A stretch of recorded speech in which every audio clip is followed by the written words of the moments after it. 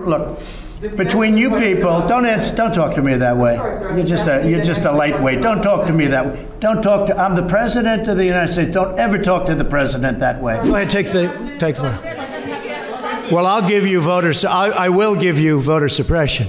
You just have to, sit down, please. Sit down. I didn't call you. I didn't call you. I didn't call you. Okay, question? Yeah, go ahead. Sure. She's shocked that I picked her. No, She's like in a state of shock. I'm not thinking, Mr. That's President. okay. I know you're not thinking. You never do. I'm sorry?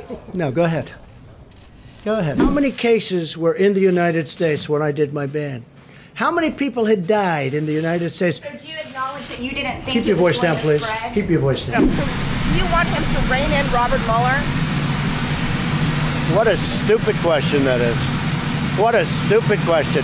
But I watch you a lot. You ask a lot of stupid questions. You didn't let me ask my question. You, you've My been asking a question for 10 No, minutes. so please my sit down. question. The argument is that you bought yourself some time. You didn't use it to prepare hospitals. You didn't use it to ramp up testing. Right You're now, so nearly you're so 20 million you're so people disgraceful. Are unemployed. It's so disgraceful the way you say that. thousands- Look, look. You know you're a fake. You know that your whole network, the way you cover it, is fake. And most of you, and not all of you, but the people are wise to you. That's why you have a lower a lower approval rating than you've ever had before, times probably three. What do you say the Americans were scared though? I guess nearly 200 dead, 14,000 who are sick, millions, as you witnessed, who are scared right now. What do you say to Americans who are watching you right now who are scared? Uh, I say that you're a terrible reporter. That's what I say.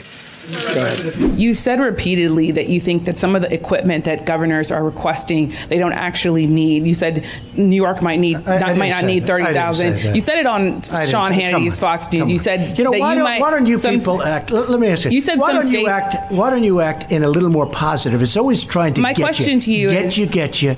And you know what? That's why nobody trusts the media anymore. My That's question why to you is, people, how is that gonna impact? Excuse me, you didn't hear me. That's why you used to work for the Times and now you work for somebody else. Look, let me tell you something.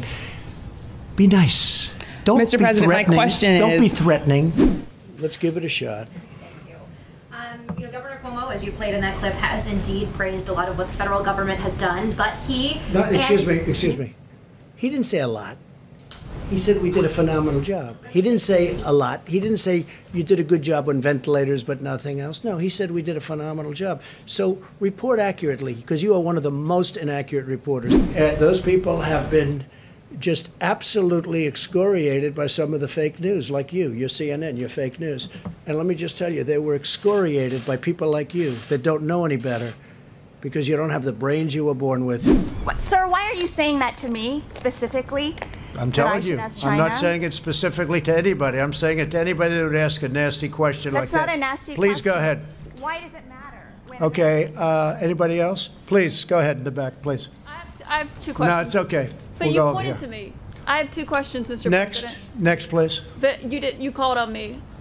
I did, and you didn't respond, and now I'm calling on Sorry, I just the wanted young to, lady in the back, please. I just wanted to let my colleague Okay. finish. But can I ask you a Ladies and question, gentlemen, thank you very much. Appreciate But it. called Thank you on- very much.